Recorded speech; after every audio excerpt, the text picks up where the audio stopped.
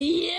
It's very sad, of course. Um, and obviously, I wish that Megan could have experienced um, Fashion Week this year. Megan Nespliak, a 22 year old fashion influencer from Edmonton, was diagnosed with a terminal stomach cancer in March 2022. She passed in early September, but her legacy lives on this week. This past summer, the 22 year old canceled plans to attend New York Fashion Week as her health failed. But the cancer patient turned lemons into lemonade through Megan Fashion Week. It's going to be a virtual fashion week that anyone and everyone can participate in, and I am going to be raising money for stomach cancer research because that is the type of cancer that I have. In honor of her 22 years of life, Megan created 22 fashion themes for her followers to create outfits for and encouraged them to share pictures to social media from September 21st to 25th, tagging hashtag Megan Fashion Week.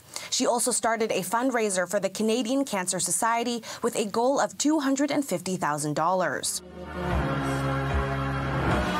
Instagram users from all over Alberta and across the world have participated in Megan Fashion Week, all showing their support for Megan and her fight against cancer, including this model living in Tennessee. I just thought it was a really fun dress uh, that Megan would have liked because it was a bedazzled, juicy couture dress. Um, so I feel like it was something fun um, to honor her with. Ali Musella says Megan's efforts in raising awareness for cancer in the social media fashion community is special and rare. I've never seen fashion and uh, cancer related, um, which is awesome. I think that obviously there is awareness that needs to go into that.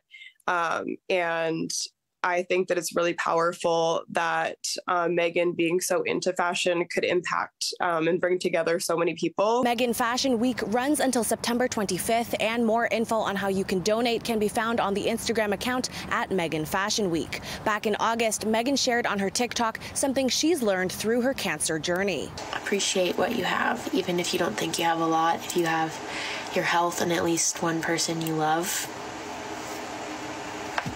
even if the person's a dog, you're very lucky. In Edmonton, Sarah Chew, City News.